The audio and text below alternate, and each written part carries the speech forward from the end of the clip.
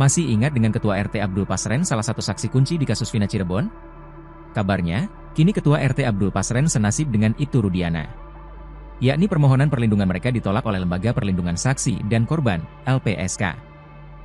Hal ini diungkapkan oleh Kepala Biro Pemenuhan Hak Saksi dan Korban LPSK, Sriana. Menurut Sriana, LPSK telah menerima permohonan perlindungan dari Ibtu Rudiana dan Ketua RT Pasren serta keluarganya. Diketahui, Kesaksian mereka adalah salah satu yang menyebabkan para terpidana dihukum sebagai pelaku pembunuhan Vina dan Eki. Selain itu, itu Rudiana merupakan keluarga korban atau ayah dari Eki. Meski demikian, rupanya LPSK menilai Pasren dan Ibtu Rudiana tidak memenuhi syarat untuk mendapatkan perlindungan. Adapun alasannya karena pernyataan mereka tidak konsisten. Pertimbangan di LPSK berdasarkan hasil pemeriksaan asesmen itu, keterangannya itu tidak konsisten, jika atas Riana. Sementara itu, istri Rudiana juga ditolak permintaan perlindungannya karena bukan ibu kandung Eki.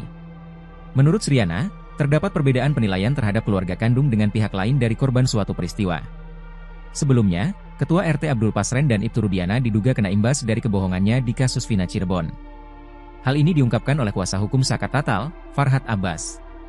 Menurut Farhat Abbas, LPSK menolak memberikan mereka perlindungan karena dinilai memberikan keterangan yang bohong.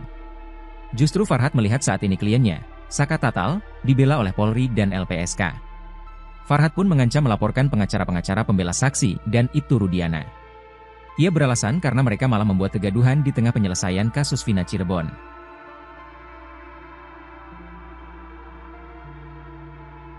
Download Tribun X sekarang, menghadirkan lokal menjadi Indonesia.